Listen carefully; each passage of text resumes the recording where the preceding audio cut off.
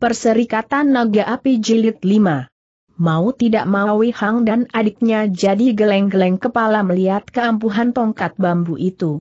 Menurut cerita ayah mereka, memang tongkat bambu Hang Kuan Ho Shio itu mengandung semacam kekuatan gaib yang sulit dicerna dengan akal.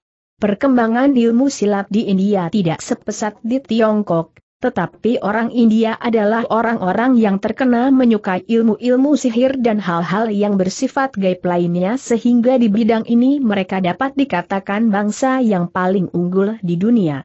Tidak mengherankan pula kalau tongkat bambu butut milik Hang Kuan Hosyo itu pun mengandung kekuatan-kekuatan demikian.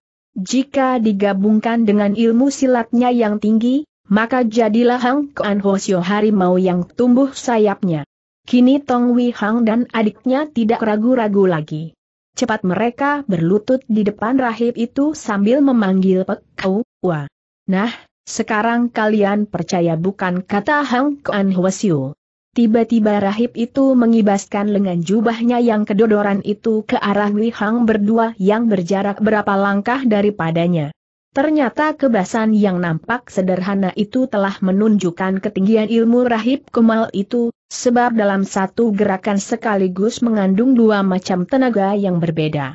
Wei Hang dan Wilan terdorong oleh angin kebasan itu sehingga jatuh bergulingan di lantai yang berdebu, sebaliknya tongkat bambu yang mereka pegang itu justru tersedot dan melayang ke arah pemiliknya.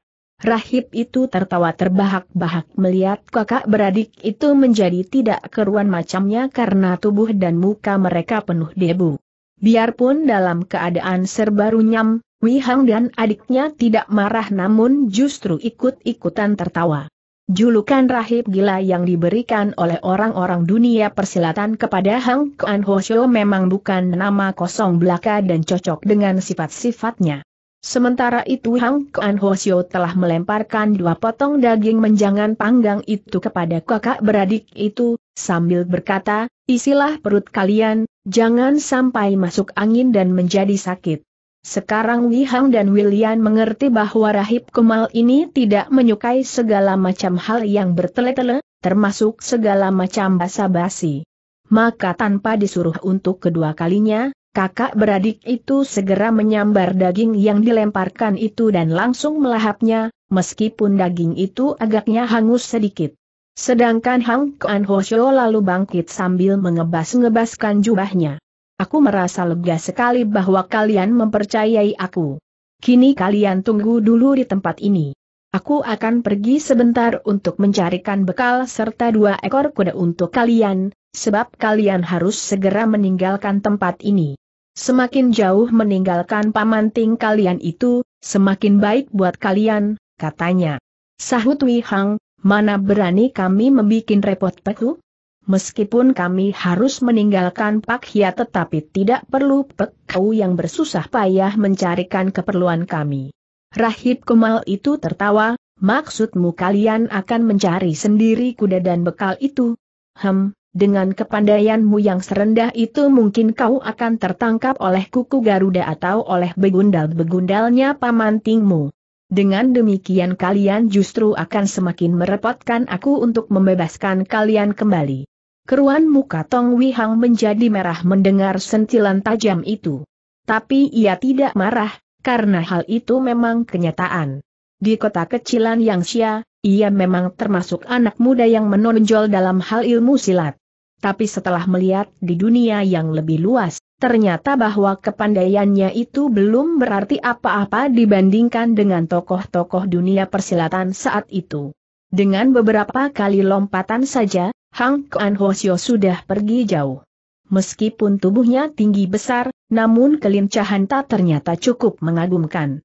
Bahkan Wi Hang dan adiknya menaksir bahwa kepandaian Rahib Kemal itu tentu tidak di sebelah bawah dari Susyoco mereka, yaitu Soat San Kiam Sian Oh Yeutian. Sementara Rahib itu pergi, kakak beradik itu mulai merenungkan apa yang telah diucapkan oleh Hang Kuan Hosyo mengenai diri Ting Chiao Kun. Benarkah Ting Chiao Kun berjiwa sebejat itu? Diam-diam timbul perasaan masgul yang sangat dalam di hati kakak beradik itu. Jika itu benar, maka rasanya dunia ini tidak sehangat yang mereka duga. Di balik muka yang manis belum tentu terdapat hati yang manis pula, bahkan mungkin terdapat ancaman yang keji. Meskipun hati sedang gundah, tak urung gumpalan besar daging kijang itu lenyap juga ke dalam mulut mereka. Maklumlah, mereka belum sempat mengisi perut sejak kemarin sore, dan hari itu sudah cukup siang. Tidak lama kemudian, dari kejauhan terdengar derap kaki kuda menuju ke arah kuil rusak tempat mereka berada itu. Didengarkan dari suara derapnya yang cepat dan mantap, nampaknya kuda yang sedang mendatangi itu merupakan kuda-kuda pilihan. Tong Wei Hang tetap santai saja mendengar suara itu, sebaliknya adiknya yang bersifat lebih cermat dari kakaknya segera menjadi tegang mukanya. Katanya, Ahong, kau dengar derap kaki kuda itu? Aku dengar, memangnya ada apa? Kau benar-benar ceroboh dan malas menggunakan otak, demikian William menggerutui kakaknya. Coba kau dengar lebih cermat lagi. Derapnya cepat dan mantap, jelas merupakan kuda-kuda padang rumput yang terpilih. Orang yang menunggang kuda macam itu biasanya adalah kaum kuku Garuda, lagi pula tempat ini pun belum jauh dari Pakhia. Kau harus ingat, bahwa kita adalah resmi sebagai buronan pemerintah kerajaan. Mendengar itu Tong Wihang lalu melompat bangkit dengan beringas. Serunya, kebetulan sekali kalau yang datang ini adalah anjing-anjing kaisar, biarlah kita hajar mereka untuk melampiaskan sakit hati keluarga kita. Alian, bersiap. Namun adiknya kelihatannya tidak begitu bersemangat untuk berkelahi saat itu. Serunya, kakakku, kau harus ingat bahwa pada umumnya para perwira kerajaan itu berilmu cukup tinggi. Mampukah kita yang hanya berdua ini menghadapi mereka? Masih ingatkah kau akan kejadian di rumah kita pada waktu diserbu orang-orangnya Tio Ban Kiat? Waktu itu, bahkan dengan bantuan seorang tokoh selai Susiok Chooh Ye Utian saja kita masih kewalahan menghadapi kerubutan mereka. Itu baru perwira-perwira daerah Kiangse, dan perwira-perwira di ibu kota kerajaan ini tentu memiliki kemampuan yang lebih baik daripada perwira-perwira daerah. Nah, apakah kita akan nekat berkelahi sehingga mampus dan tidak dapat lagi membalaskan sakit hati keluarga kita? Tong Wei Hang tidak menyahut, tapi uraian adiknya itu cukup masuk akal. Agaknya setelah peristiwa pemukulan Ciabok di Anyang Sia itu Tong William berubah menjadi lebih sabar dan lebih cermat. Memang bukan mustahil bahwa Tio Ban Kiat atau Ciatubun telah melaporkan tentang pemberontakan keluarga Tong itu ke pemerintah pusat, sehingga orang-orang keluarga Tong itu bukan saja akan menjadi buronan di daerah Kiangse, tapi juga di seluruh wilayah kerajaan Beng yang luas itu. Kalau begitu, marilah kita hindari mereka, kata Wei Hong. Tetapi derap kaki kuda itu terlalu cepat datangnya, dan dalam sekejap saja sudah tiba di depan kuil kosong itu. Namun yang datang ternyata bukanlah kaum kuku Garuda seperti yang diduga oleh Tong Wei Hang dan adiknya, melainkan Rahib Hang Koan. Ia melangkah masuk ke dalam kuil dengan membawa dua buah bungkusan kain. Sambil menarik napas lega, Tong Wei Hang dan adiknya batal untuk bersembunyi. Kata William, kiranya Pek Kau yang datang. Tadinya kami kira kawanan kuku Garuda yang hendak menangkap kami. Rahib itu berkata, pakaian dan bekal luang sekedarnya ini aku ambil dari seorang tuan tanah kejam yang tinggal di dekat Pak Hia. Sedangkan kedua ekor kuda yang cukup bagus itu aku rampas dari serombongan anjing kaisar yang tengah mengganas terhadap rakyat. Keponakanku berdua, kukira kalian tidak boleh membuang waktu lagi. Berangkatlah sekarang juga, makin cepat dan makin jauh makin baik, sebab di daerah ini Ting Chiao Kun punya pengaruh kuat dan baginya bukan urusan sulit untuk menemukan kalian kembali. Kuanjurkan kalian menuju ke arah selatan saja. Tong Wei Hang dan adiknya tercengang mendengar anjuran itu, ke selatan. Bukankah mereka meninggalkan daerah selatan lari ke utara justru untuk menghindari pengejaran Chia Tubun dan Tio Ban Kiat? Kenapa sekarang mereka harus ke selatan lagi dan seolah-olah kembali masuk ke mulut harimau? Ya, ke selatan, Hang Kuan Hosio menegaskannya dengan wajah bersungguh-sungguh. Katanya lebih lanjut, di utara sini, jelas kalian tidak aman karena ada Ting Chiao Kun yang gila pangkat dan pujian, yang tidak akan segan-segan menyerahkan kalian kepada pihak pemerintah. Sedang daerah barat dan timur merupakan daerah-daerah yang ganas dan tempat bersembunyinya banyak tokoh-tokoh golongan hitam. Ke selatan pun cukup berbahaya, tapi bahaya itu tidak sebesar jika berada di tempat lain. Di selatan, nama besar ayah kalian masih punya cukup pengaruh untuk menggerakkan hati sahabat-sahabatnya dalam melindungi kalian. Penjelasan Hang Kuan Hosio itu sebenarnya cukup jelas, tapi kedua kakak beradik Sitong itu bahkan terlongong seperti orang kehilangan pegangan. Maklumlah, mereka baru saja terlempar dari sebuah dunia yang dirasa indah dan tenteram, ke sebuah dunia lain yang penuh kekerasan di mana bahaya mengancam dari segala sudut. Mereka masih belum percaya sepenuhnya bahwa pamanting yang baik hati itu ternyata hanya seorang munafik seperti yang dikatakan oleh Xiao Lim Hang Cheng itu. Tapi semua kenyataan di depan mata memaksa mereka mau tidak mau harus waspada. Kini mereka akan menuju ke selatan kembali. Tapi ke mana? mereka sudah tidak punya sanak keluarga atau kenalan seorang pun di daerah itu. Haruskah mereka menjadi gelandangan? Sesaat Tong Wei Hang dan adiknya menjadi kebingungan menghadapi perkembangan keadaan yang berkembang terlalu cepat itu. Meskipun digelari si Rahib Sinting, sebenarnya Hang Kuan Ho berhati baik. Jalan pikirannya pun tidak sesinting tingkah lakunya, bahkan tidak jarang ia berpikiran lebih cermat dari orang-orang yang mengaku waras. Ia menjadi iba ketika melihat kakak beradik itu. Menjadi kebingungan.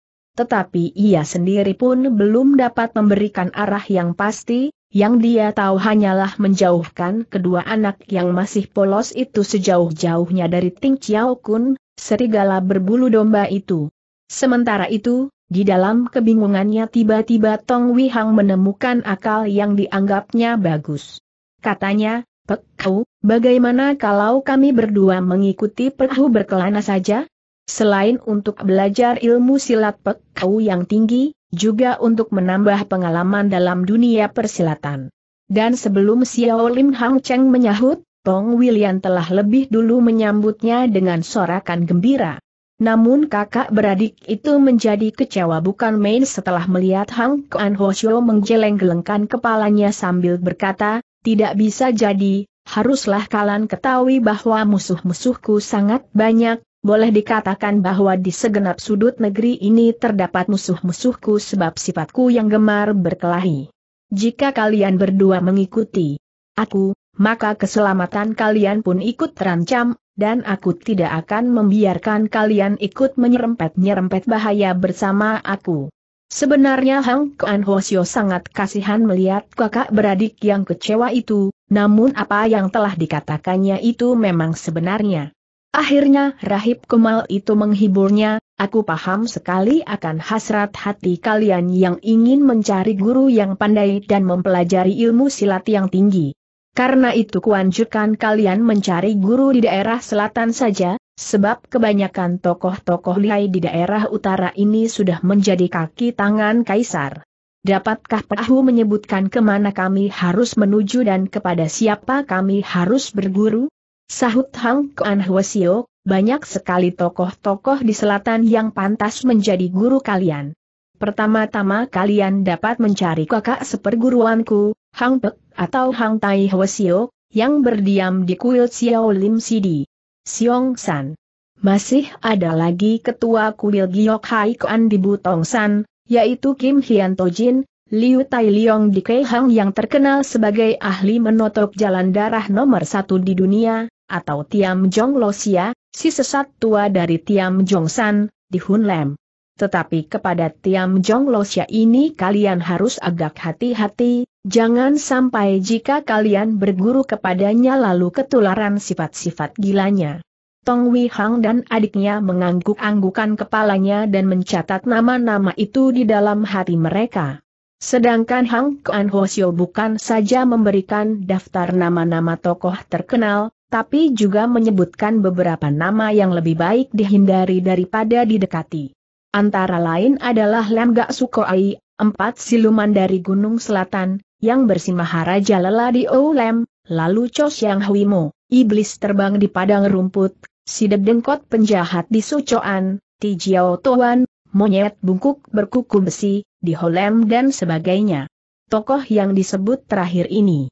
Menurut Hang Kuan Hwasio, bukan tokoh yang terlalu jahat tetapi juga bukan orang baik-baik. Setelah memberikan pesan-pesan seperlunya, rahib pengembara itu pun lalu pergi meninggalkan kedua orang keponakan angkatnya itu. Sayup-sayup masih terdengar suara nyanyiannya yang sumbang itu makin lama makin jauh sampai akhirnya tidak terdengar lagi. Sikap dan gerak-geriknya melambangkan kebebasan hidupnya, sebebas seekor burung yang terbang di udara. Tapi di balik sikap bebasnya itu ia masih merasa dibebani sikap bertanggung jawab untuk mengamankan dunia dari segala perbuatan busuk dan ketidakadilan. Tong Wei Hang dan adiknya pun merasa tidak ada lagi yang mereka tunggu di kuil kosong itu. Setelah membenahi diri, mereka pun menaiki kuda mereka dan membawa bekal mereka untuk meninggalkan tempat itu menuju ke selatan. Mereka bagaikan dua ekor domba gemuk yang tersesat di padang luas dunia persilatan, di mana kelompok-kelompok serigala bertebaran di mana-mana. Tetapi kedua ekor domba gemuk itu punya tekad kuat dalam hati masing-masing bahwa mereka akan menjadikan diri mereka harimau, sehingga tidak lagi menjadi sekedar mangsa serigala. Bagian ke-9 Alian, kau kelihatannya lesu dan kurang bersemangat dalam melanjutkan perjalanan ini, Pong Wihang menegur adiknya yang berada di sebelahnya. Apakah kau merasa kurang enak badan? Gadis itu tidak menyaut. Hanya mukanya yang tertunduk seakan-akan sedang menghitung langkah-langkah kaki kuda tunggangannya. Sikap itu membuat akaknya jadi menduga-duga, apa gerangan yang telah terjadi atas diri adiknya? Tiba-tiba Tong Wei Hong berkata sambil tertawa lebar, ah, alangkah bodohnya aku. Tapi sekarang aku tahu yang membuat kau tidak bersemangat meninggalkan Pak Hia. Kali ini William mengangkat wajahnya memandang kakaknya. Dan terdengarlah Seng kakak meneruskan ucapannya tadi, Alian, mengaku terus teranglah kepadaku, kau berat meninggalkan Tingbun bukan? Seketika merah padamlah wajah si gadis Sitong itu, sebab isi hatinya dapat ditebak tepat oleh kakaknya. Tinjunya yang kecil itu segera terayun hendak memukul pundak kakaknya, namun Wihang sempat mengelakkannya sambil tertawa semakin keras. Nampaknya tebakanku tidak meleset, kata Tong Wei Hang sambil mengendorkan lari kudanya. Akhirnya Tong William cuma bisa menarik napas panjang sambil menundukkan kepalanya. Jauh di dasar hatinya, gadis itu memang sangat mengagumi Tingbun. Dalam usia yang masih muda, Tingbun telah menambahkan kepribadian yang begitu kuat mempesona, berwibawa, bertanggung jawab, jujur, dan tidak munafik. Tadinya Wilan menganggap perasaannya sendiri itu tidak lebih dari perasaan kagum dan hormat saja. Tetapi setelah ia dan kakaknya berjarak puluhan li dari Pak Hia, mulai terasa bahwa perasaan yang berkembang di dalam hati mudanya itu bukan sekedar perasaan kagum dan hormat saja, tetapi jauh lebih indah daripada itu. Tubuhnya meninggalkan Pak Hia, tetapi sebenarnya hati gadis itu telah tertambat di kota itu. Perasaan yang tengah dialaminya adalah perasaan yang paling indah, yang harus dialami oleh semua manusia. Sedang Tong Wei Hang agaknya masih saja berniat mengganggu adiknya itu, aku lupa bahwa kau bukan anak kecil lagi, bahkan tahun ini usiamu sudah 18 tahun lebih. Lagi pula Tingbun itu nampaknya juga, memperhatikan kepadamu. William menjadi semakin tersipu, dengan gemas ia mengangkat cambuk kuda di tangannya untuk dipukulkan ke punggung. Kakaknya, tapi dapat dihindari oleh kakaknya. William jadi semakin jengkel dan berseru, Ahong, sudahlah, kenapa kau selalu mengolok aku? Bila ada kesempatan ingin kuhajar babak belur pantatmu itu. Wei Hang tertawa keras, aduh galaknya menantu keluarga Ting ini. Gadis itu menjadi semakin gemas kepada kakaknya, tetapi sebenarnya jauh di dasar hatinya terselip juga seperti rasa bahagia yang hangat. Ucapan kakaknya yang menyatakan bahwa sebenarnya Tingbun juga menaruh perhatian kepadanya itu memang bukan ucapan ngawur, tapi kenyataan. William sendiri juga merasakan hal itu. Hanya saja dia adalah seorang gadis, sehingga merasa malu untuk menampakkan perasaannya secara terbuka. Namun alangkah pahitnya bahwa kini ia harus berpisah sebelum sempat saling mengutarakan isi hati. Merasa telah cukup menggoda adiknya, Wei Hang segera mendekatkan kembali kudanya. Dan berkata, baiklah, aku tidak akan mengolokmu lagi. Aku minta ampun padamu. Mau tidak mau William tertawa melihat sikap kakaknya itu. Omelnya, dasar kau memang jahi, agaknya mulutmu gatal jika tidak menggodaku. Sedangkan di pundak kita masih terbeban beberapa kewajiban berat. Sakit hati ayah belum terbalas, lagi pula ibu dan Asya yang masih harus kita cari entah ke mana. Bagaimana aku berani mendahulukan kepentingan pribadi dan menyampingkan kewajiban keluarga? Diingatkan akan kewajiban-kewajiban keluarga yang masih membebaninya, Tong Wei Hang tidak berani bergurau lagi. Demikianlah kakak beradik itu melanjutkan perjalanannya ke arah selatan. Karena mereka tidak pernah melarikan kudanya dengan cepat maka setelah menempuh perjalanan tiga hari, mereka baru mencapai kurang lebih dari ibu kota kerajaan.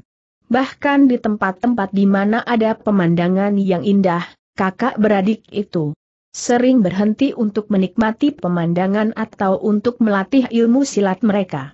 Hari keempat, mereka memasuki sebuah jalan yang sunyi dan yang terletak di pinggir sebuah hutan yang tidak begitu lebat. Tengah kedua kakak beradik itu berkuda dengan santai sambil bercakap-cakap, tiba-tiba dari arah belakang mereka terdengar derap seekor kuda yang dilarikan dengan kencangnya. Cepat Tong Wei Hang dan adiknya meminggirkan kuda mereka agar tidak tertabrak penunggang kuda itu. Penunggang kuda itu ternyata adalah seorang lelaki yang bertubuh tegap dan bertampang kasar, di punggungnya tergendong sebatang golok besar. Ketika ia mendahului kedua kakak beradik Sitong itu, ia sengaja melambatkan kudanya dan matanya sempat melirik serta memperhatikan wajah kedua kakak beradik itu dengan seksama. Setelah merasa yakin, ia mempercepat kembali lari kudanya, dan sebentar saja sudah tidak terlihat bayangannya lagi. Wei Hang dan William adalah anak-anak muda yang hijau dalam pengalaman. Tingkah laku si lelaki penunggang kuda itu sama sekali tidak menimbulkan rasa curiga mereka, dianggapnya hal biasa sebab wajah William memang cukup cantik untuk menarik perhatian kaum lelaki. Mereka tetap tenang saja dan melanjutkan perjalanan sambil bercakap-cakap. Tetapi alangkah terkejutnya, ketika kuda mereka tiba-tiba meringkik dan roboh ke tanah, karena kaki binatang-binatang itu terjerat oleh seutas tali yang dipasang melintang di atas tanah. Rupanya tali itu memang sengaja dipasang untuk menjerat kuda yang lewat. Untunglah, biarpun Tong Wei Hang berdua tidak mengira akan kejadian itu, namun sebagai pemuda-pemudi yang terdidik ilmu silat sejak kecil, mereka dapat dengan tangkas melompat dari kudanya tanpa jatuh terbanting. Namun muka mereka nampak pucat karena terkejutnya. Belum lagi tenang debaran jantung mereka, telah terdengar suara daun-daun tersibak dan rerumputan terinjak, lalu muncullah belasan lelaki bertubuh kekar dan bermuka garang yang langsung bersikap mengurung Tong Wei Hang dan adiknya. Di antara mereka, nampaklah si penunggang kuda yang tadi hampir menabrak Tong Wei Hang dan adiknya. Jumlah para penghadang itu ada 15 orang, semuanya nampak tangkas. Disimpulkan bahwa mereka adalah kawanan manusia yang mencari nafkah dengan senjata. Ada pula yang bertangan kosong, namun agaknya tidak kalah berbahayanya dengan kawan-kawannya yang bersenjata. Melihat itu diam-diam Tong Wei Hang dan adiknya mengeluh di dalam hati. Ketika mereka dibawa dari rumah Ting Chiao Kun oleh Hang Kuan Hwasio, pedang mereka telah tertinggal di rumah Paman Ting, dan sampai sekarang mereka belum sempat mendapat gantinya. Menghadapi 15 orang berandal tangguh itu tanpa pedang adalah pekerjaan yang cukup berat buat orang-orang yang berkepandaian setaraf dengan Wei Hang dan William. Salah seorang dari berandal-berandal itu segera bertanya kepada Tong Wei Hang dengan suaranya yang berat, Hi, kau tentu yang bernama Tong Wei Hang? Dan gadis itu tentu yang bernama William bukan? Wei Hang dan adiknya saling bertukar pandang dengan herannya karena ternyata orang-orang ini dapat mengenali nama-nama mereka. Diam-diam mereka mulai merasakan adanya gelagat kurang baik. Kemudian Wei Hang memberi hormat sambil balas bertanya, siapakah tuan-tuan ini? Ada keperluan apa dengan diri kami? Lelaki tadi tertawa pendek sambil memegang-megang kumisnya, hihi, ditanya belum menjawab tapi malah balas bertanya. Hi, bocah dungu. Jawab dulu pertanyaanku tadi. Tong Wihang mengerutkan keningnya, dan hatinya mulai menjadi tidak senang melihat sikap orang yang sok jagoan itu. Tapi mengingat kekuatan mereka sendiri yang terbatas, terpaksa ia menyabarkan diri dan menekan kemarahannya. Katanya, kami memang benar. Tong Wihang dan Tong William dari Anyang Xia. Ada urusan apakah kalian mencari kami? Seorang berandal lainnya yang bersenjata kampak bertangkai panjang, segera mendengus, hah, benar-benar bernyali besar, begitu ditanya langsung mengaku. Tidak mengecewakan kalian sebagai putra-putri Ki yang setai hiap yang tersohor itu. Hi, anak muda yang berani, ketahuilah, bahwa kami sudah menyetorkan 18 batok kepala ke hadapan si gemuk Ciatubun, tetapi tidak sebutir batok kepala pun yang cocok sehingga upah yang dia janjikan pun belum kami terima. Tapi berdasarkan pengakuanmu tadi, agaknya kini kami tidak akan salah penggal lagi. Jadi terima kasih atas pengakuanmu. Hati Wei Hang dan William bergejolak hebat mendengar ucapan berandal itu ternyata para berandal itu bekerja demi upah yang dijanjikan oleh Chia Tubun untuk memburu dan membunuh sisa-sisa keluarga Tong. Agaknya Chia Tubun benar-benar menjalankan pedoman membabat rumput seakar-akarnya. Sementara berandal berkumis itu telah berkata lagi, benar, kali ini orang Shicia itu pasti akan membayar upah kita, seratus tahil perak untuk tiap batok kepala. Setelah itu tinggallah kita mencari di mana istri Tong Tian dan anak tertuanya yang bernama Tong Wis yang itu, dan setelah itu kita punya cukup banyak uang untuk berfoya-foya. Kemarahan telah meluap dalam diri Wi Hang dan adiknya setelah tahu bahwa berandal-berandal itu bekerja untuk Chia Tubun. Bentak William, bagus. Jadi kalian ini adalah anjing-anjingnya si keparat itu. Berandal berkumis itu masih saja tertawa-tawa sambil memegang-megang kumisnya, sahutnya, begitulah, berhubung kantong kami sedang kosong, terpaksa akan kami pinjam kepala kalian untuk ditukarkan dengan uang si gendut Sicia itu kami berjanji jika ada uang akan menyelenggarakan sembahyang sederhana untuk menghormati arwah kalian. Kawanan berandal itu serempak tertawa ketika mendengar kelakar kawannya yang berkumis itu bahkan ada seorang berandal muda yang menimbrung kurang ajar, gadis anak Tong Tian ini boleh juga. Sebelum kita jual kepalanya, baiklah kita kerjakan dulu, sebab kurang enak kalau bermesraan dengan gadis tanpa kepala. Sekali lagi hutan itu bagaikan tergetar oleh suara tertawa para berandal itu. Sedang Wi Hang dan William menjadi merah mukanya karena marahnya. Mereka pun sudah menyadari bahwa sulit untuk meloloskan diri dari kepungan ke-15 orang berandal bersenjata ini, namun mereka lebih suka bertempur mati-matian daripada menodai nama keluarga Tong. Mendadak Tong Wihang melompat ke arah si berandal muda yang berdiri tiga langkah dari tempatnya. Dengan sebuah pukulan dan tendangan kilatia membuat si berandal muda itu roboh terkapar sambil memuntahkan darah. Rupanya Wihang ingin membuat kawanan. Berandal yang sedang mabuk kegirangan itu untuk mengurangi jumlahnya, dan ternyata ia berhasil. William cukup cerdas untuk menangkap maksud kakaknya, dia pun segera menirunya dengan menyerang berandal terdekat secara mendadak. Tapi gebrakan pertama dari kakaknya tadi telah membuat para berandal bersiaga, sehingga serangan mendadak William itu kurang berhasil. Berandal yang bersenjata kampak bergagang panjang itu agaknya merupakan pimpinan dari kelompok berandal itu melihat kakak beradik itu mulai bergerak, ia segera memerintahkan kepada anak buahnya, bunuh yang lelaki. Usahakan tangkap hidup-hidup yang perempuan. Tetapi putra-putri Ki yang setai hiap itu justru lebih dahulu menerjang lawan-lawan mereka dengan kemarahan meluap. Dalam waktu sekejap saja terjadilah perkelahian sengit dua lawan empat belas di tempat yang sunyi itu. Para penjahat itu ternyata bukan manusia-manusia lemah, mereka cukup punya bekal dalam menjalankan kejahatan-kejahatan mereka. Mereka juga sudah menang pengalaman dan mampu bekerja sama dengan rapi dalam menghadapi kakak beradik Sitong yang mengamuk seperti harimau terluka. Sebentar saja Wei Hang dan William mulai merasakan tekanan berat dari lawan-lawan mereka, apalagi mereka berdua cuma bersenjata cambuk kuda, sedang lawan-lawan mereka bersenjata tombak panjang, toya, golok, dan sebagainya.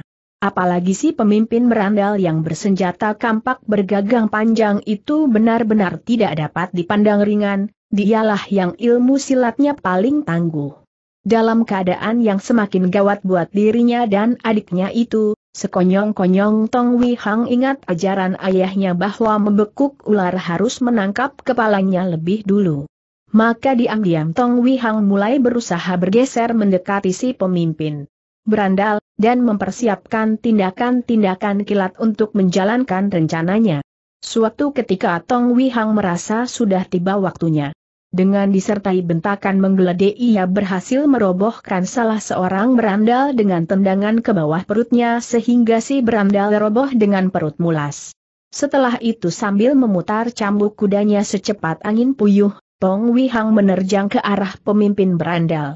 Si pemimpin berandal itu pun bukan manusia keroco yang tak berguna, ia membabatkan kampaknya ke kepala Wihang, Wei Hang terpaksa menjatuhkan diri dan bergulingan untuk menghindarkan diri dari sambaran maut itu dengan demikian, gagalah maksud Tong Wei Hang untuk menjalankan tipu membekuk ular menangkap kepalanya dulu itu.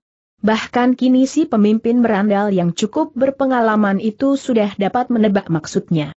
Baru saja Tong Wei Hang melompat bangun, dua orang berandal yang masing-masing bersenjata golok dan tombak panjang telah menyergap serempak. Dengan sabetan cambuknya ke samping, Tong Wei Hang berhasil melibat dan membelokkan arah bacokan golok lawan. Sedang kaki kirinya melakukan gerakan kaki Pelianka, tendangan teratai tertembus angin, dan berhasil pula menendang tombak lawan sehingga meleset jauh dari sasarannya. Untuk sementara dia masih bisa membela diri, tetapi Wei Hang sadar bahwa keadaannya yang seperti itu tidak dapat dipertahankan terus. Kekalahan baginya hanya soal waktu. Dia dan adiknya ibarat dua ekor binatang buruan yang sudah masuk dalam perangkap, biarpun sudah meronta bagaimanapun pasti akan mati di ujung senjata lawan-lawan mereka, kecuali datangnya suatu keajaiban. Keadaan William juga tidak kalah payah dari kakaknya. Sebenarnya gadis itu punya niat untuk mencapai kudanya dan naik ke atas punggung kuda. Dia berharap akan lebih mendapat keuntungan jika berkelahi di atas kuda. Dan dia memang pernah berhasil hampir menduduki punggung kuda, tapi seorang lawan berhasil menarik kakinya sehingga terpaksa ia berkelahi di atas tanah kembali. Satu-satunya keuntungan Tong William dibandingkan dengan kakaknya hanyalah bahwa berandal-berandal itu agaknya tidak ingin melukai kulit gadis itu mereka ingin menjadikan gadis itu sebagai pelampiasan hawa nafsu lebih dulu, sebelum memotong batok kepalanya dan membawanya kepada Chia Tong Bun. Mereka menggunakan tipu hanya mengurung untuk menghabiskan tenaga William, dan jika sudah kelelahan barulah akan ditangkap hidup-hidup. Tiba-tiba si pemimpin berandal yang bersenjata kampak panjang itu berteriak kepada anak buahnya yang tengah mengurung William, Hi, pusatkan kekuatan kalian untuk menghabisi si bocah lelaki yang bandel itu anak gadis yang mulus ini biarlah kutangani sendiri. Sebenarnya berandal-berandal itu lebih senang berkelahi melawan Tong William yang cantik, tapi mereka pun tidak berani menentang perintah pemimpinnya. Beberapa orang berandal yang mengepung William segera berlompatan meninggalkan Lawani dan beralih mengepung Wihang yang sedang kepayahan. Meskipun dalam hati kawanan berandal itu memaki pemimpin mereka yang mau enaknya sendiri saja. Kawanan berandal itu memang hanya menguasai ilmu silat kasaran saja, namun kekuatan tubuh mereka rata-rata justru cukup tangguh, begitu pula kekasaran dan kelicikan mereka. Mereka adalah petualang-petualang yang kenyang dengan pengalaman tempur, dan sanggup berkelahi sehari suntuk tanpa beristirahat. Sebaliknya, meskipun Tong Wei Hang memiliki ilmu silat yang lebih baik, tapi dalam masalah ketahanan tubuh dan pengalaman justru tidak dapat menandingi berandal-berandal itu. Sementara itu si pemimpin berandal telah melemparkan kampaknya dan menempur Welian dengan tangan kosong. Gerakannya mantap dan kuat, dan nampaknya dia cukup mahir dalam ilmu gulat Mongol. Tingkat kepandaiannya pun mengungguli William. Bukan itu saja, pemimpin berandal itu ternyata cukup kuat kulitnya, sehingga cambuk William yang berkali-kali menghantam tubuhnya itu seakan-akan dianggapnya hanya gigitan nyamuk yang tidak berarti. Malahan beberapa kali gadis itu hampir saja terpegang oleh tangan yang kekar dan berbulu lebat itu makin lama makin terdesaklah William. Dalam keadaan genting itu, sadarlah William bahwa dia harus memilih sasaran dalam mencambuk lawan, sebab kulit lawan ternyata cukup tebal dan lait. Maka selanjutnya gadis itu mulai mengarahkan ayunan-ayunan cambuknya ke bagian-bagian lemah seperti mata, tenggorokan, dan bahkan ke bagian terlarang seorang lelaki. Meskipun hal itu dilakukan dengan muka merah karena malu sendiri, tapi akhirnya gadis itu menekan jauh-jauh semua perasaannya. Demi kehormatan yang dipertahankannya ia tak segan-segan berbuat apa saja. Siasatnya itu ternyata cukup ampuh juga, sebab kini si pemimpin berandal tidak berani lagi mengabaikan cambukan-cambukan gadis itu, dan desakannya pun berkurang tidak segarang tadinya. Namun kemarahannya justru semakin meningkat, geramnya, bagus, gadis binal, sekarang kau boleh melihat kelihayanku. Begitu selesai dengan kalimatnya, ia merapat maju dan kedua tangannya secara bergantian menangkap dan mencengkeram secara gencar dengan ilmu gulat Mongol. Di desak semacam itu, cambuk William jadi agak kehilangan daya gunanya. Setiap kali William mencoba mengatur jarak dengan lawannya, tapi lawannya yang lebih berpengalaman itu malah berhasil mendesaknya bagaikan bayangannya. Meskipun bertubuh besar, Ternyata pemimpin berandal itu lebih tangkas dari William. Napas Tong William mulai tersengal-sengal. Bukan hanya karena kelelahan, tapi juga karena perasaan ngeri mulai merayapi hatinya, membayangkan penghinaan yang bakal diterimanya jika ia jatuh ke tangan para berandal itu. Tiba-tiba matanya mulai berkunang-kunang dan tenaganya pun semakin lemah. Di saat itulah kedua belah tangan si pemimpin berandal itu bergerak serempak, dan kali ini tidak memberi kesempatan kepada korbannya untuk menghindar lagi. Dengan mudah Tong William segera dapat diringkusnya dan langsung diseret masuk ke dalam hutan. Bahkan tidak diperdulikannya anak buahnya yang masih bekerja keras untuk menundukkan Wei Hong. Malahan si pemimpin berandal itu sempat berteriak sambil tertawa, kalian bereskan dulu bocah lelaki itu nanti kalian pun akan kebagian karena Tong William masih juga meronta mencoba melepaskan diri, maka dengan jengkel si pemimpin beranda lalu memanggul tubuh. Gadis itu secara paksa dan dibawa menghilang ke dalam hutan. Tong Wihang melihat semua kejadian itu tapi tidak dapat berbuat apa-apa, darahnya mendidih hebat. Ia berteriak-teriak kalap dan mengamuk hendak menjebol kepungan untuk merebut kembali adiknya, tapi kepungan para berandal itu sangat ketat. Biarpun ada beberapa berandal yang roboh, tapi hanya dengan sehelai cambuk kuda di tangannya, mustahilah bagi Tong Wei Hang untuk bisa lolos dari kawanan berandal yang bersenjata itu. Karena ia semakin gugup, maka tubuh Wei Hang kembali terkena senjata lawan dan menimbulkan beberapa luka baru. Akhirnya pemuda yang biasanya lemah lembut itu menjadi nekat dan menjadi sangat kasar, teriaknya dengan amarah meluap, kawanan bajingan tengik. Hari ini biarpun aku mati di tangan kalian, tapi beberapa orang di antara kalian pun harus ikut mampus menemani aku. Oleh semangatnya itu maka kekuatannya yang hampir habis itu seolah bertambah kembali. Dengan menggeram seperti macan luka dan menyerang membabi buta, kembali dua orang berandal berhasil ditendangnya roboh.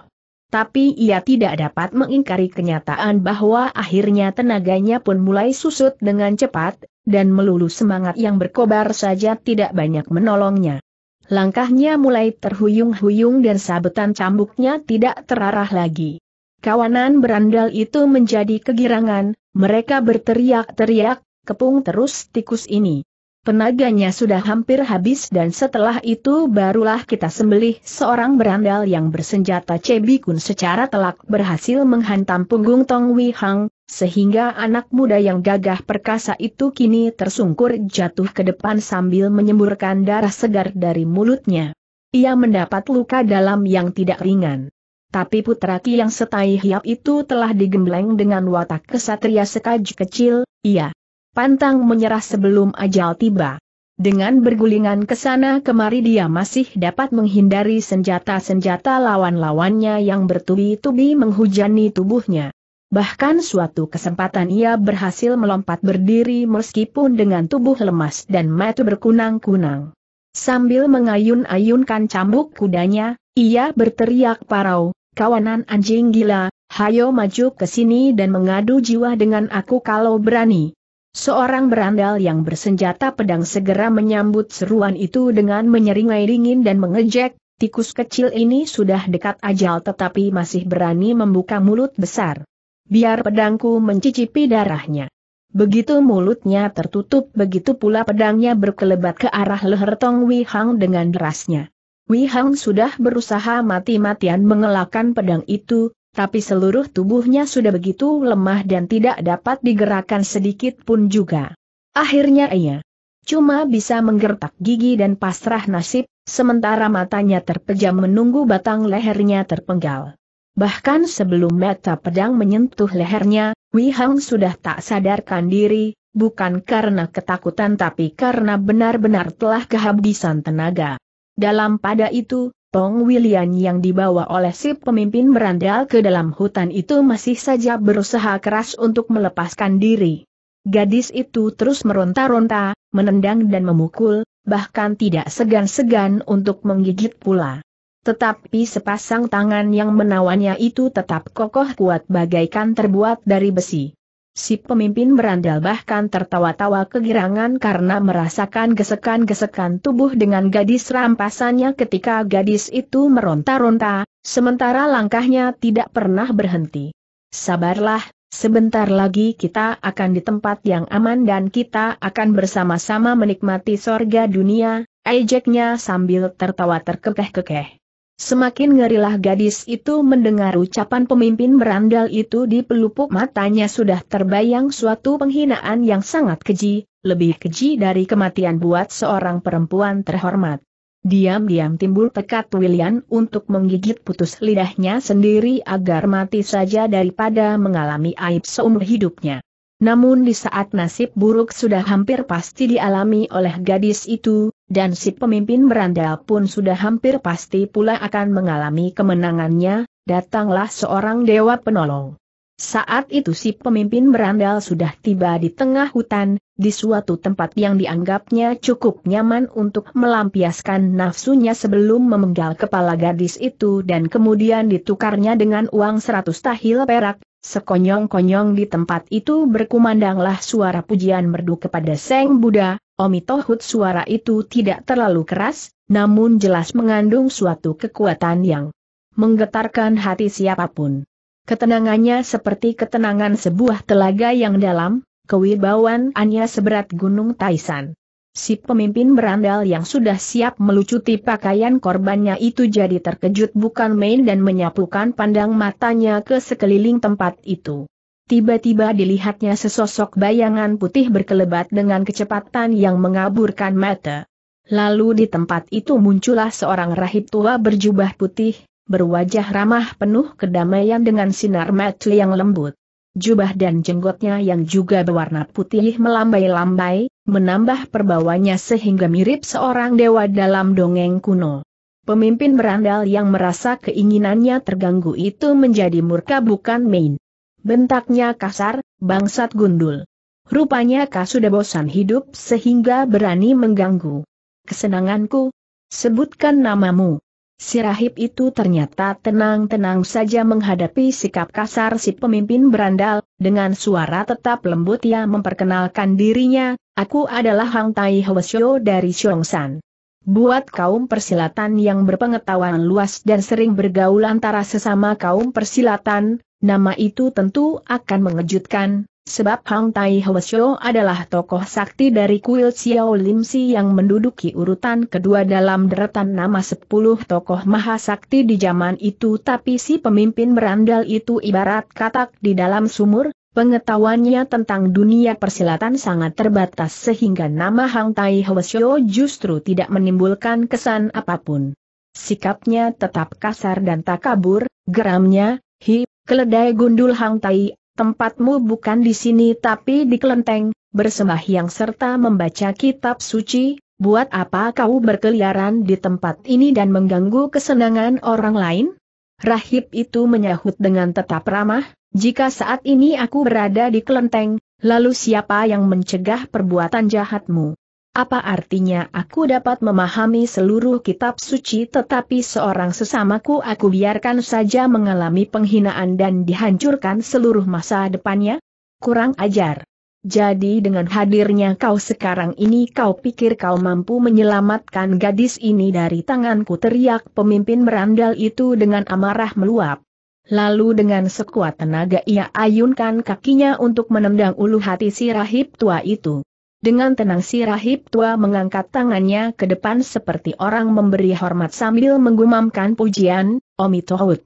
Dan si pemimpin berandal tiba-tiba merasakan bahwa ada segulung tenaga tidak terlihat yang mendampar ke arahnya dengan kuatnya. Bukan saja tendangannya meleset dari sasaran, bahkan tubuhnya pun terdorong. Beberapa langkah ke belakang dan jatuh terkapar baru kini tertampil perasaan kaget pada wajah si pemimpin berandal. Diam-diam dia mulai merasa keder melihat rahib tua itu demikian lihai. Tetapi dia masih belum jerat, kini ia menghunus sebatang pisau belati yang disembunyikan di bajunya dan bangkit kembali. Bentaknya, kau memang hebat keledai gundul, tetapi kini jangan salahkan aku kalau kukirim nyawa bangkotanmu itu ke neraka. Pemimpin berandal itu memang cukup tangkas, gerakannya cepat seperti seekor harimau menerjang mangsanya, dan pisau belati di tangannya itu bagaikan kuku-kuku harimau yang siap merobek-robek tubuh lawan. Namun rahib tua itu tetap berdiri di tempatnya dengan tenang dan santai, wajahnya tetap penuh welas asih. Meskipun pemimpin berandal itu telah melakukan serangan-serangan yang berusaha menghabisi nyawanya tapi si rahib itu tidak kelihatan marah atau diam. Seenaknya saja ia mengebaskan lengan jubahnya dan dengan tepat berhasil membelit pisau lawan, lalu dengan kebasan ringan ia berhasil membuat lawannya jungkir balik. Pemimpin berandal yang begitu garang itu ternyata tidak lebih hebat dari seorang anak kecil umur tiga tahun jika dihadapkan dengan tokoh nomor dua di Tionggoan itu. Kini habislah nyali si pemimpin berandal itu jatuhnya kali ini cukup keras dan pinggangnya menimpa sepotong akar yang menonjol dari tanah. Ia tidak dapat segera bangkit kembali karena sakitnya. Dengan tertatih-tatih akhirnya ia dapat berpegangan kepada pepohonan di sekitarnya dan berdiri perlahan-lahan. Di dalam hatinya ia merasa malu, marah, dan penasaran. Tetapi dia insyaf bahwa berlatih sepuluh tahun lagi pun belum tentu dapat menandingi rahib itu. Akhirnya ia menerima kenyataan itu dan dengan terbungkuk-bungkuk sambil memegangi pinggangnya yang sakit ia melangkah pergi dari tempat itu. Sebelum ia melangkah terlalu jauh, masih terdengar suara Rahib Hang Tai yang bernada menasehati sekaligus mengancam, aku berharap agar Anda bersedia memikirkan kembali ke jalan yang benar. Jika Anda masih saja melakukan kejahatan dan mengganggu ketenteraman sesama manusia, maka apa boleh buat, terpaksa Anda akan merepotkan murid-murid Xiao Lin Bei kami yang tersebar di mana-mana. Pemimpin penjahat itu nampak agak pucat muanya ketika mendengar perkataan Rahib Hang Tai itu meskipun mulutnya tidak menyahut, tapi ia mengerti bahwa ancaman itu bukan main-main. Dengan terpincang-pincang ia meneruskan langkahnya dan sesaat kemudian ia sudah tidak terlihat lagi di tempat itu. Tong William menarik napas lega setelah melihat perginya pemimpin berandal itu, tidak lupa ia mengucapkan terima kasih kepada rahib tua yang telah menyelamatkannya dari aib hebat itu. Rahib tua itu menjawab ucapan terima kasihnya dengan suaranya yang berwibawa tapi lembut, Sudahlah, Nona, berterima kasihlah kepada Tian yang selalu melindungi orang baik. Sementara itu, mendadak Tong William teringat kepada kakaknya yang saat itu tentu masih menyabung nyawa di luar hutan sana. Katanya kepada Rahib Hang Tai, Taisu, Bapak Pendeta, aku telah menerima pertolonganmu yang maha besar, tetapi dapatkah aku minta tolong sekali lagi kepada Taisu? Katakan saja. Jika aku mempunyai kemampuan untuk melakukannya tentu aku tidak akan menolaknya, sahut rahib itu. Dengan singkat segera Tong William mengatakan tentang kakaknya yang masih terancam jiwanya oleh sekawanan berandal di luar hutan itu. Mendengar hal itu, Rahib Hang Tai langsung berkata, kalau begitu kita tidak boleh terlambat menolongnya. Nona, marilah tunjukkan di mana kakakmu sedang terancam bahaya. Lalu rahib itu mengulurkan tangannya dan berkata, kita harus cepat, karena itu peganglah tanganku supaya aku dapat menggunakan ilmu meringankan tubuhku. Tong William tahu bahwa rahib itu berhati suci bersih dan bukan seorang munafik, lagi pula usianya cukup pantas untuk menjadi kakeknya, maka tanpa malu-malu lagi ia memegang tangan rahib itu begitu kedua telapak tangan saling genggam. Tiba-tiba William merasa kakinya terangkat dari tanah dan tubuhnya melayang ke depan secepat kilat. Ternyata rahib itu telah menariknya dengan menggunakan ilmu meringankan tubuh supaya cepat sampai di tujuan. Gadis itu merasa betapa pepohonan di kiri kanannya seolah-olah terhanyut ke belakang dengan cepatnya. Dan ketika ia melirik ke arah sepasang kaki rahib tua itu, semakin hebatlah kekaguman gadis itu ternyata sepasang kaki Hang Tai Hwasyo bagaikan tidak menginjak tanah karena gerakannya yang terlalu cepat bahkan berlari di tengah hutan yang tidak rata. Dan penuh pepohonan itu ternyata si rahib dapat membawa William dengan leluasa seperti melalui tanah lapang saja. Ginkang, ilmu meringankan tubuh, sehebat itu ternyata William belum pernah menyaksikannya. Bahkan William menaksir bahwa kepandaian Hang Tai Hwasyo ini beberapa tingkat di atas Xiao Lim Hang Cheng ataupun Soat San Kiam Sian yang juga tergolong tokoh-tokoh sakti zaman itu. Sambil membiarkan tubuhnya diseret oleh rahib itu, diam-diam Tong William berpikir, pantas sekali orang-orang dunia persilatan di Tionggoan menjuluki kuil Xiao Lim Si di Xiongsan sebagai persembunyiannya naga dan harimau. Cukup Hang Tai Hwasyo dan Hang Kuan Hwasyo saja sudah merupakan dua buah tiang yang maha kokoh untuk menunjang keangkeran Xiao Lim Pei. Apalagi di dalam kuil itu tentu masih ada tokoh sakti lainnya yang seangkatan dengan mereka. Belum terhitung puluhan tokoh-tokoh angkatan muda mereka yang tentu merupakan pendekar-pendekar tangguh pula. Lalu gadis itu mencoba membuat perbandingan antara Xiao Lim Pei dan Soat San Pei maka secara jujur ia harus mengakui bahwa pengaruh Soat Sanpei masih tidak sehebat Xiao Lin Pei meskipun Soat Sanpei juga merupakan perguruan besar di daerah barat. Ini disebabkan oleh karena Xiao Lin Pei merupakan aliran silat yang ratusan tahun lebih tua dibandingkan Soat Sanpei. Selain itu, Tokoh-tokoh Soat Sanpei kebanyakan berdiam jauh di wilayah barat dan jarang menampakkan diri di dunia persilatan Tionggoan sehingga nama mereka kurang dikenal orang. Ini berbeda dengan tokoh-tokoh Xiao Limbe yang banyak berkecimpung dalam dunia persilatan dalam menegakkan kebenaran. Dalam pada itu, tak terasa tibalah mereka di pinggir hutan di tempat terjadinya pertempuran tadi. Tetapi pertempuran telah selesai dan tempat itu telah menjadi sunyi kembali seperti semula. Yak ada hanyalah mayat para berandal yang bergelimpangan di sana-sini, sedang mayat Tong Wei Hang ternyata tidak ada. Di antara mayat-mayat itu hal itu membuat hati William sedikit lega, tapi timbul kegelisahan baru kalau memikirkan entah bagaimana nasib kakaknya. Ketika William mencoba menghitung jumlah mayat-mayat itu, Semuanya berjumlah 14. Jadi gerombolan yang menghadangnya itu telah tertumpas habis kecuali si pemimpin berandal yang diampuni oleh Hong Tai Hwasyo tadi. Sedangkan Rahib Hong Tai justru menampakkan wajah sedih melihat mayat bergelimpangan sebanyak itu ia menarik nafas beberapa kali dan bergumam dengan suara rendah, rupanya di sinilah kakakmu tadi bertempur. Meskipun aku datang terlambat tapi agaknya kakakmu yang gagah perkasa itu telah menolong dirinya sendiri dengan menumpas semua musuh-musuhnya tanpa ampun. Omitohut. Benar-benar ganas. Dalam suara rahib tua itu terkandung nada penyesalan dan kesedihan, rupanya paderi itu bersedih kenapa manusia masih saja demikian buas dan saling bunuh tanpa kenal. Ampun, Bahkan ada nada menyalahkan Tong William yang memiliki kakak sekejam itu. Cepat Tong William menggelengkan kepala sambil membantah pasti bukan kakaki yang membunuh mereka. Aku berani bersumpah di sambar petir pasti ini bukan perbuatan kakakku.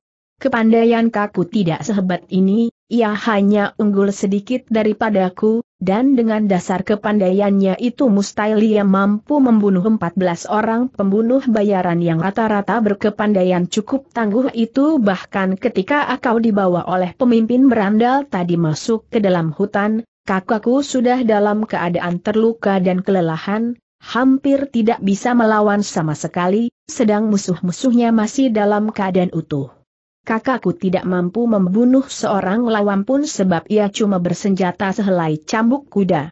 Kemudian Rahib Hang Tai berjongkok untuk memeriksa mayat-mayat itu, alisnya yang putih seperti kapas nampak berkerut-kerut. Dia kemudian bergumam, aku mempercayai ucapan. Nona, memang bukan kakakmu yang membunuh berandal-berandal ini. Agaknya aku dapat menebak siapa orang itu. Rupanya setelah membunuh orang-orang ini, ia lalu membawa pergi kakakmu. Tong William menjadi sangat lega karena ucapannya dipercaya oleh rahib sakti itu tak terasa ia berdiri di belakang rahib itu dan ikut memeriksa mayat-mayat itu. Sementara rahib Hang Tai berkata lagi, memang ada beberapa luka-luka kena cambukan, tetapi luka-luka itu hanya luka-luka kulit dan sama sekali tidak mematikan yang mematikan adalah luka yang membelah dada mereka. Luka itu bukan disebabkan oleh pedang atau golok, melainkan oleh jenis senjata yang lebih ganas lagi yang disebut hau tau kau, kaitan kepala harimau.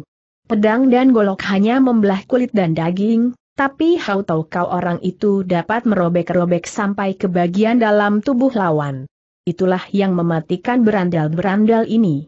Terdorong oleh rasa keingintahuannya, Tong William lalu bertanya kepada rahib tua itu, tadi Tai Su mengatakan bahwa Tai Su mengetahui siapa orangnya yang membunuh penjahat-penjahat ini. Dapatkah Tai Su memberitahukan kepadaku supaya aku dapat mencarinya dan menanyakan perihal kakakku kepadanya? Teringat kepada orang yang bersenjata Hau Tau Kau itu, berkerutlah alis Hang Tai Hwasyo menandakan ketidaksenangan hatinya.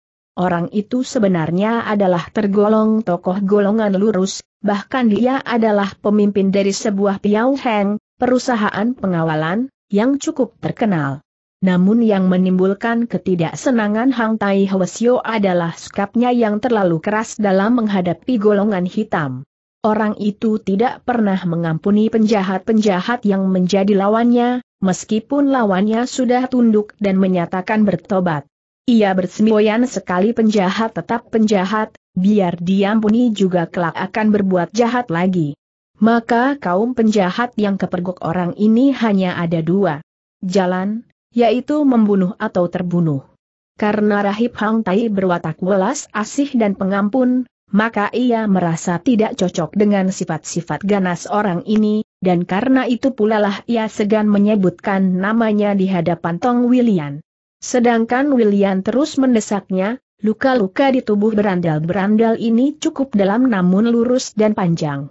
Jelas pembunuhnya adalah orang yang mampu mengerahkan hau tau kaunya dengan kekuatan besar dan kecepatan yang tinggi. Orang berkepandaian yang setara Vini tentu tidak banyak di dunia persilatan, tentu Taisu mengenalnya pula. Keengganan Rahib Hang Tai menyebutkan orang itu adalah karena mengkhawatirkan William yang masih lugu itu akan menemui orang itu, berguru kepada orang itu dan kemudian ketularan sifat-sifat keras dari orang itu. Hal itu tidak dikehendaki oleh Rahib yang welas Asia itu karena itu terpaksa ia agak berbohong dalam menjawab desakan William. Omi Tohut, setiap kali kaku teringat kepada orang itu, yang terbayang di benakku hanyalah munkratnya darah dan jerit kematian. Aku memang mengenal orang itu dan pernah bertemu dengannya, tetapi aku tidak tahu siapa nama aslinya dan di mana tempat tinggalnya. Jadi maaf, aku tidak bisa memberi keterangan yang jelas kepada Nona. Sambil mengucapkan kata-kata itu, diam-diam Hang Tai Hwasyo memohon ampun kepada Seng Buddha sebab telah melanggar pantangan berbohong. Tetapi Rahib Hang Tai berpendapat bahwa kebohongan yang menyelamatkan adalah lebih baik daripada kejujuran yang menjerumuskan. Tong William menjadi sangat kecewa karena tidak berhasil mendapatkan keterangan yang diinginkan. Namun hatinya tidak begitu cemas lagi memikirkan kakaknya, sebab agaknya kakaknya telah diselamatkan oleh seseorang yang berkepandaian tinggi. Bahkan ada kemungkinan besar Seng kakak akan berguru kepada orang itu. Begitu pikirannya melayang ke persoalan berguru, tiba-tiba terbukalah pikiran gadis itu kini di hadapannya tengah hadir seorang rahib yang kesaktiannya seperti dewa, bahkan terhitung kakak seperguruan dari uak angkatnya Hang Kuan Hwasio, Kenapa kesempatan ini tidak dimanfaatkan untuk memohon menjadi muridnya? Karena itu alangkah kagetnya Rahib Hang Tai ketika tiba-tiba gadis Sitong itu tiba-tiba berlutut menyembah kepadanya dan berkata dengan nada menghibahkan hati, Taisu, kini setelah berpisah dengan kakakku maka aku benar-benar sendirian di dunia ini. Ayahku telah tiada, sedang ibuku dan kedua orang kakakku tidak ku ketahui di mana beradanya. Aku seorang gadis lemah, maka mohon belas kasihan Taisu untuk menerima aku sebagai murid dan mengajarkan ilmu silat kepadaku.